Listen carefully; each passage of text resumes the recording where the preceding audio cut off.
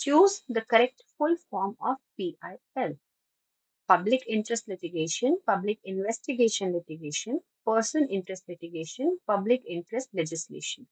PIL से मतलब है बच्चों पब्लिक इंटरेस्ट लिटिगेशन कि अगर सोसाइटी या पब्लिक के इंटरेस्ट में कोई मैटर है जिसको रिजॉल्व करना ज़रूरी है तो उसके लिए कानून लाया जाए पब्लिक इंटरेस्ट लिटिगेशन